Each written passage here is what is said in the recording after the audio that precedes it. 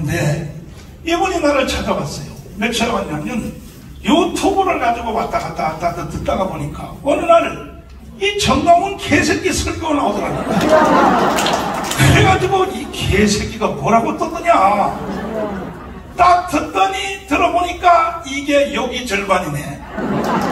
여기 절반이야. 그래서 이야 이 개자식이 이 다음 만들어버리 싹 쓸어버리겠다 이 자식이. 근데 가만히 듣다가 창세기 1장을 듣게 됐어요. 창조로 나타난 그리스도.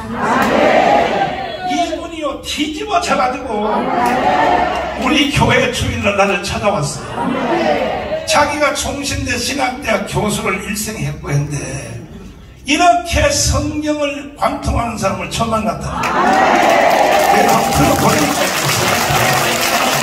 들어보니까요.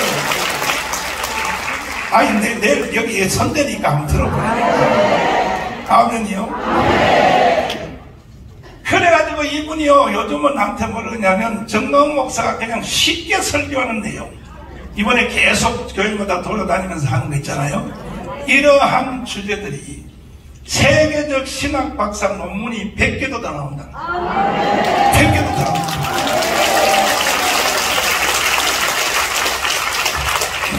그래서 오늘은 나하고 전화하면서 그래요 목사님을 이렇게 붕괴하고 지나가 버리면 이 내용들이 없어진다는 거예요 그래서 자기한테 맡겠다는 거예요. 목사님 설교하는 걸 전부 신학, 주경신학, 박사학위 논문으로 만들었어요. 전 세계화를 시켜요.